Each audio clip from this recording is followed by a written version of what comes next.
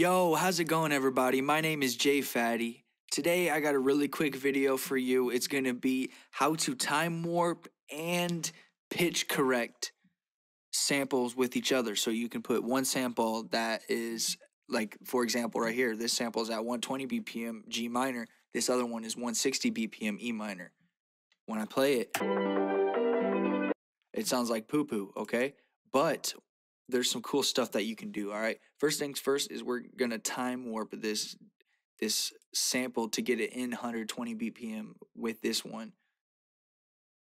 To do this, you need to be in FL Studio 20.7.2 because uh, it is using a new feature they added with their NewTime. So to do this, you need to right click the, sam- the sample you want to time stretch, hit time warp sample, you need to know the BPM of the original sample. It says it right here, thanks to Cymatics. They put all that shit in there. So it's a 160. So I'm going to go in here and this says 160.36. I right clicked this tempo thing to be able to get into this little dialog box. All right, so I'm going to delete the 0.36 and just make it exactly 160. Hit accept, and then I'm going to hit sync right here. Okay, once I hit sync, I'm going to drag and drop the file into the playlist by clicking and holding this.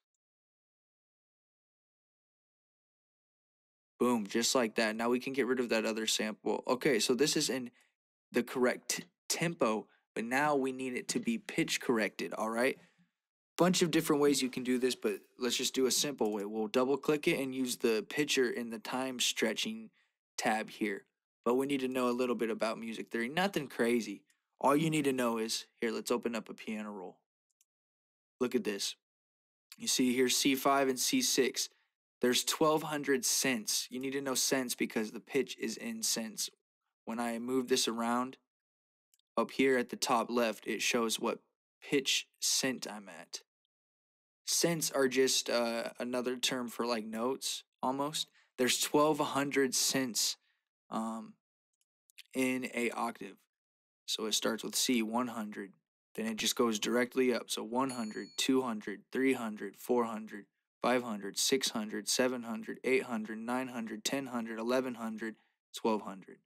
Then it starts over. So you need to know this. Why? Because we want to get this this sample is an E, but we want to get it to G minor.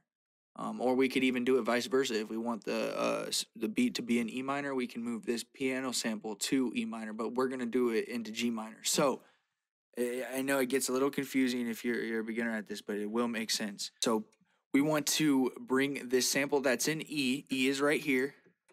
And this this octave. E is right there. Okay. We want to bring that sample to G, which is right there in that same octave or right there in the lower octave. Okay.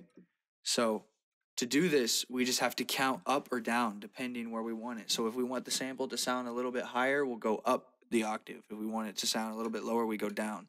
So since it's in E minor, that's right here. I want to bring it to G. If we're going up, that's only 100, 200, 300 cents. So I would just come into here of that sample, double click it, and bring the pitch up to 300. You can see up in the top left when you're there. Okay, 300 cents. Now let's hear it.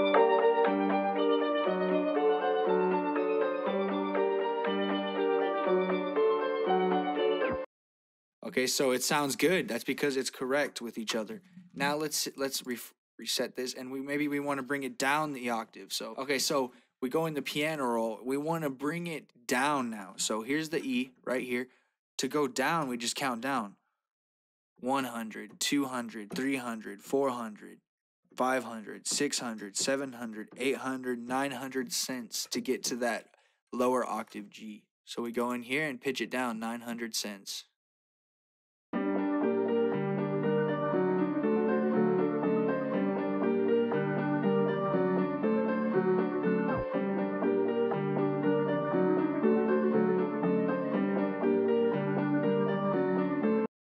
But yeah, guys, that's pretty much it for the video. I'm going to make a beat with this and then have it play at the end, but that's pretty much it. So if you enjoyed this, make sure you hit like, hit subscribe, and hit that little bell. It really supports the channel. I appreciate that, guys.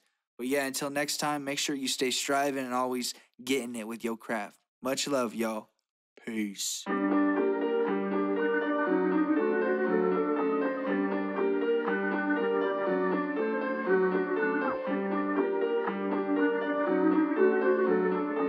Yeah.